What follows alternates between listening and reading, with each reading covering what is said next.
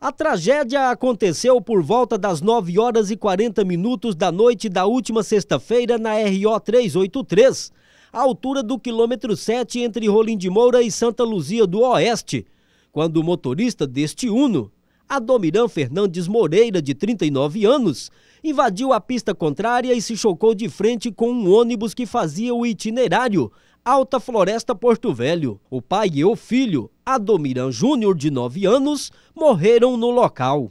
Assim mais ou menos, a faixa de uns, uns 100 metros que eu basei, o Uno entrou na, na, na, na mão do, no, do ônibus, ia, né? Só via cacetada. Eu falei, poxa, será que vai acontecer tudo? E o motorista foi firme, segurou tudinho que ele pôde, né? O cara veio e acertou ele cheio na frente. Daí só sentimos o impacto, ele parou, fomos ver, já tava a batida já tem acontecido já. O motorista do ônibus de 38 anos foi encaminhado ao hospital pelo Corpo de Bombeiros com ferimentos em uma perna. As demais vítimas estavam no interior do veículo, como explica o sargento do Corpo de Bombeiros. E chegando aqui, verificou que as, as duas vítimas estavam sem sinal vital, sem sinais vitais. E logo em seguida a gente veio com mais uma UR e a ABS com desencarcerador haja vista que as duas vítimas estavam no interior do veículo.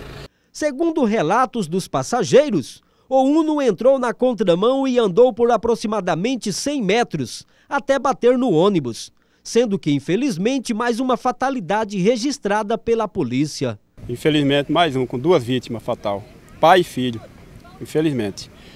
Agora ninguém sabe se dizer o motivo que levou a esse acidente. É uma crive, né?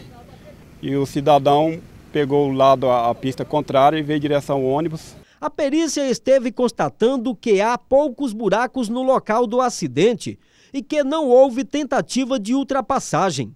As causas ainda são desconhecidas. O acidente aconteceu em um local de ultrapassagem proibida. E segundo informações de populares, o motorista do veículo Uno teria passado para o lado oposto da via e acabou batendo de frente com um ônibus e duas pessoas morreram na hora. Segundo informações de amigos de Adomiran, ele estava passando por problemas familiares e nos últimos dias sempre dizia que iria se matar. Como a via ficou bastante manchada de óleo, os bombeiros tiveram que utilizar o caminhão da brigada de incêndio para limpar a pista, para que outro acidente não viesse a acontecer no local.